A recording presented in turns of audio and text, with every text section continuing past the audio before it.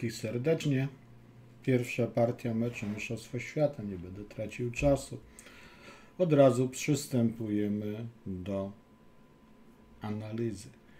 Karset czarnymi, obrońca tytułu, niepomniaści białymi.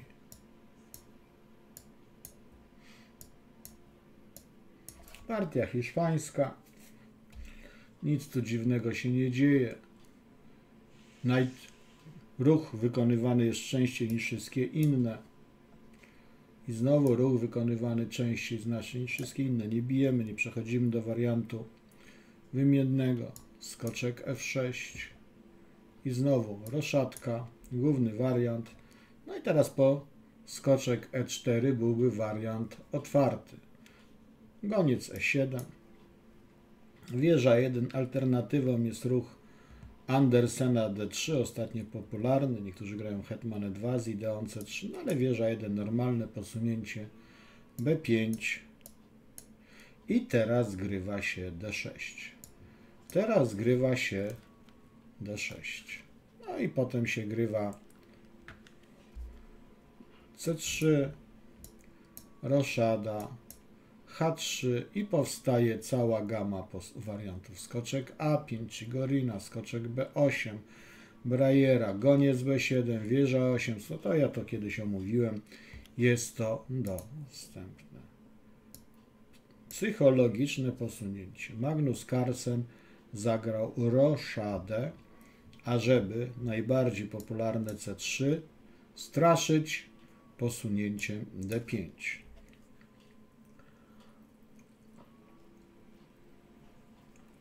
Straszyć posunięciem D5. I przejść do tak zwanego ataku marszala. I tu zawodnik grający białymi, ostry, super ostry zawodnik robi psychologiczny błąd. Nie dopuszcza do ataku marszala. Prawdopodobnie z prawdopodobieństwem 80% Carlsen by nie zagrał ataku marszala. A tu ruch H3 i to jest niepryncypialne. Ostry, ostry zawodnik, Jaś Zapominalski, jak mówią, bo tak się tłumaczy jego nazwisko na polski, niepamiętający, to powinien nie bać się ataku marszala. Jeżeli gramy partię hiszpańską, nie możemy bać się ataku marszala. Musimy być gotowi. I skoczek A5 Natychmiastowe wykorzystanie, tu widzimy, to jest rzadka kontynuacja. Skoczek A5 uważana za słabszą, zwykle grają D3, D6 albo goniec B7, wieża E8, a ruch w tekście skoczek A5 mało przebadany, Carlsen zawsze taki wybiera, ale patrzy na biało polowego gońca. Patrzy na biało polowego gońca. Są tu dostępne partie. I co teraz? Wszystkie ruchy są złe. Ruch C3 jest słabszy, daje czarnym pełne wyrównanie, ale to jest ten hiszpański białopolowy goniec. Nie pomiasi, piona wziął, gońca oddał. I po goniec B7 białe mają przewagę mniej więcej ćwierć pionka, czyli czarne mają 3 czwarte rekompensaty za pionka, no bo jeżeli mają pionka mniej, to muszą mieć za niego rekompensatę w postaci pary gońców i wbrew pozorom lepszego rozwoju. Tutaj można zagrać skoczek C3, można zagrać D3. Ruch D3 częściej był stosowany.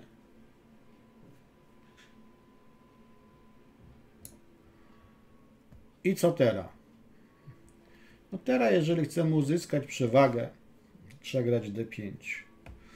Wszystkie inne ruchy są słabsze. D5, pryncypialne. No musimy te otworzyć pozycję w centrum, zlikwidować jednego piona, żeby gońce strzelały. No, w zasadzie trzeba bić. W zasadzie trzeba bić. I tu można bić skoczkiem, można bić hetmanem. Bicie hetmanem jest ciekawsze, ponieważ stwarza groźbę mata na polu G2. Tak grywano. Hetman F3. Alternatywą jest skoczek F3. Hetman zasłania przed matem. I znowu grywano, znowu to nie jest nic nowego. Carlsen wybiera obiektywnie najlepsze posunięcie, goniec D6. I tu teoria poleca wzięcie hetmana na D5.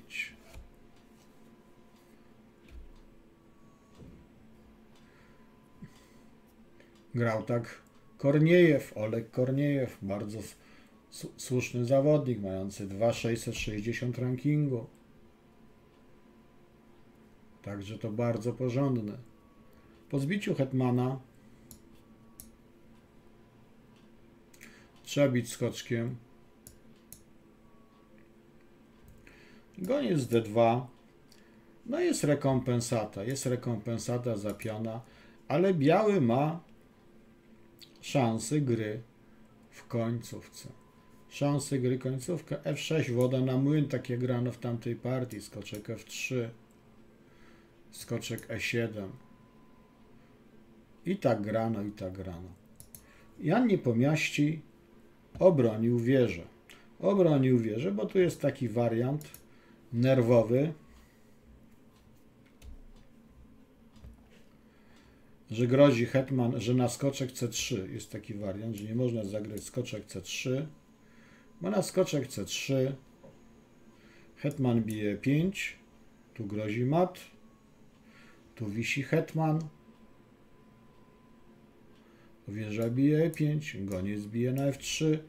Tu wisi wieża, a jak policzymy figury, to na dzień bieżący białe mają jedno mniej. Król f1 to jest ruch obiektywnie dobry, ale no taki nieestetyczny można powiedzieć. Po co roszowaliśmy, kiedy królem wracamy w kierunku centrum? I tu znowu.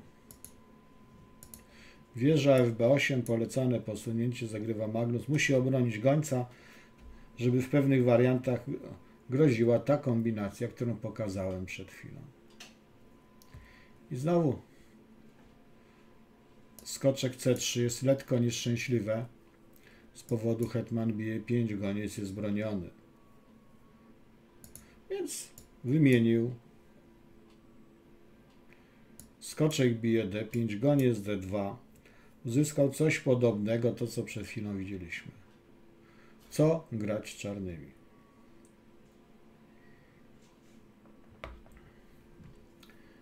No trzeba grać energicznie. Trzeba rozbić białe piony.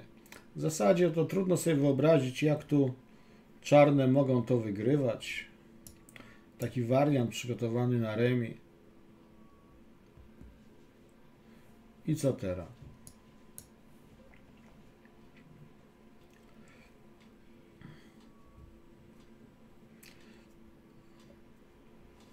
Pretendent zagrał skoczek F3, a była taka partia grana po skoczek F3, C3, jedna partia, ruch obiektywnie lepszy, po skoczek B4, trzeba bronić piona, wieża AC1 i to grana korespondencyjnie, Belegotti, Syczow i Belegotti wygrał, prawdopodobnie miał mocniejszy komputer.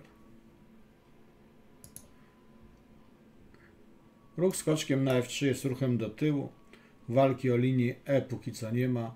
Wieża D8. Skoczek C3, skoczek B4 i jest słabość, słabość na polu C2 i to bardzo poważna słabość. Wieża ta obroniła. Były zdania naukowców, żeby lepiej bronić drugą wieżą. Może i lepiej, a może nie. Wieża AC8. I co teraz? Białe powinny skonsolidować pozycję, czarne chcą grać C4, skoczek E2, nacelowany przeciwko posunięciu skoczek C4, bo będzie wisiał. Koniś, znaczy nie, no, nie będzie straty, ale Jego wymiana będzie korzystna. Goniec E3. Poprawiamy pozycję. Skoczek E7. Znowu można było wrócić się na B4. I drugi kluczowy moment partii. Pierwszy kluczowy to kiedy zagrał H3. Nie przyjął pryncypialnej walki. Proszę zobaczyć, czy któryś z komentatorów zwrócił na to uwagę. Zachęcam. Przestraszył się kontrataku marszala, kontrgambitu, różnie to nazywają, ataku marszala. W zasadzie nie powinno to być kontratak, no bo nie ma ataku białych, nie ma kontrgambitu, bo nie ma gambitu białych. Goniec F4 i goniec G4 to jest słabe posunięcie. No, trzeba łatać dziury. Jednym ze sposobów łatania dziury przestawienie króla na D2, chociaż tu podwierzę. Problem stanowi to, że goniec strzela w konika i grozi rozbić białe piony, co będzie nieprzyjemne. Goniec na E3 stoi dobrze, kontroluje pole D4. Można było zagrać skoczkiem na D3 albo skoczkiem z E na G1, król E2, rozwiązać problem tego konika. Ruch gońcem na F4 jest zły. Ruch gońcem na F4 jest zły. Wypuszcza tę odrobinę przewagi, która była. Teraz trzeba zbić gońca tego i tego. No zbił, rozbił piony, zbił i białe mają kłopoty. Białe mają kłopoty z utrzymaniem równowagi. Doskonały ruch wieżą na C6. Pion A6 broniony nie jest groźny. Wieża na otwartą linię, no póki co wieża się zwolniła. Ale lepiej było chyba zagrać wieżą na A5 i spróbować nękać pionka A6. Można było nękać pionka A6. Wieża E1, skoczek F5, skoczek chce wejść na D4, chce wejść na H4, co jest nieprzyjemne dla białych. C3. Ruch bardzo sprytny, nie puszcza skoczka na D4, ale powstaje słaby pion na D3. Skoczek go broni niestabilnie, bo pion G5 tego skoczka zawsze wyrzuci. Tego skoczka zawsze wyrzuci. Skoczek H4. Jak bronić piona? Królem Z2 nie pobronimy. Wieża broni. I co teraz? No warto było zagrać G6, żeby skoczek na F5 zawsze miał punkt oparcia, żeby był lufcik dla króla, żeby skoczek na H5 nie skakał. Ruch król F8 jest poprawny, ale gdzie ten król idzie? Gdzie on idzie? Nie wiadomo. On może iść po piony królewskiego skrzydła. No, czarne nie chcą wymiany skoczków, bo w końcówce to jest taka ciekawa rzecz. Wieżowej mogą mieć problemy czarne, a ze skoczkiem problemów nie mają. Zaatakowana wieża, zaatakowany pion.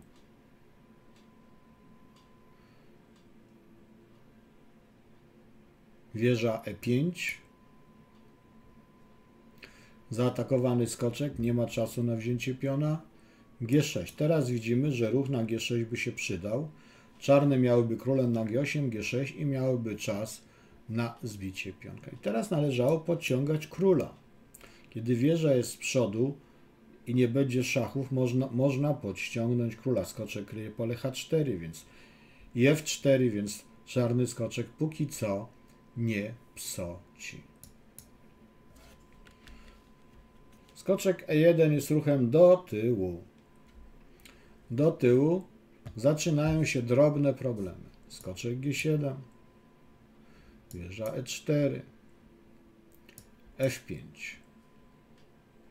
wieża E3, skoczek E6 i chce wejść z powrotem na F4. Przez moment trwa walka manewrowa, ale widzimy, że biały z pionem więcej martwi się, jak tu się ratować.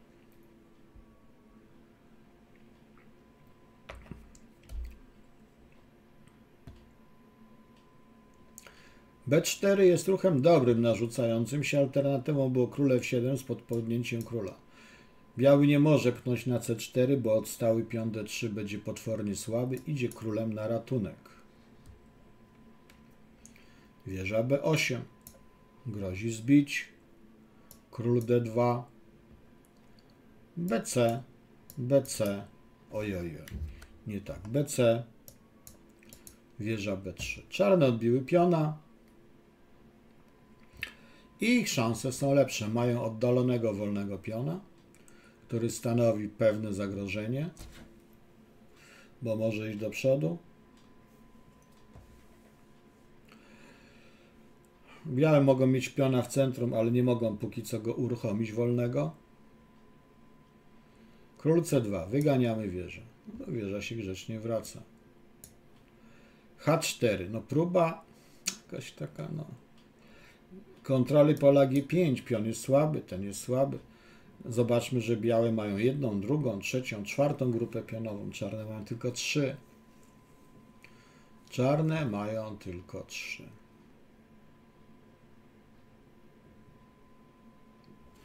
Magnus wykonuje najlepsze pos... A, nie najlepsze. Tutaj można było królem iść na G7 albo przerzucić wieżę królem na G7, żeby pójść po tego pionka.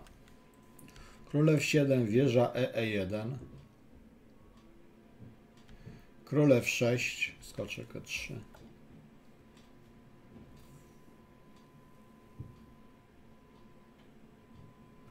I co teraz? Zagrał wieża D7.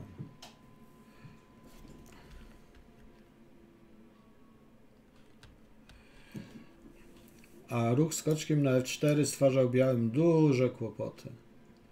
Duże kłopoty. Na przykład nie można wieża A4, bo jest takie uderzonko.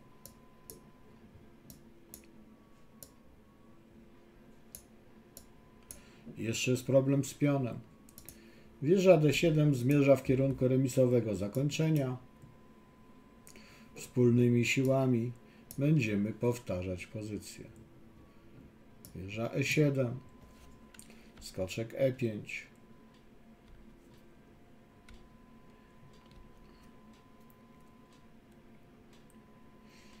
No nikt nie, nie może i nie chce ustąpić i partia powtarza się dwa razy. Tu przypominam, że żeby było remi, partia musi powtórzyć dwa razy, ta się powtórzyła dwa razy, czyli trzy razy powstała. Raz była, dwa się powtórzyła, razem trzy. Trzykrotne powstanie tej samej pozycji. Dużo walki nie było, jeszcze raz przypominam. Kluczowy błąd psychologiczny było posunięcie H3. Potem stracił białopolowego gońca i w zasadzie Magnus Carlsen Zaofiarował piona, bardzo ładnie, pozycyjnie zaofiarował piona i w parterze był niepomiaści, który grał białymi. Stracił biały kolor. Zobaczymy, co będzie dalej. Powinien zagrać, o ile zagra, Grünfelda albo Najdorfa. Do zobaczenia.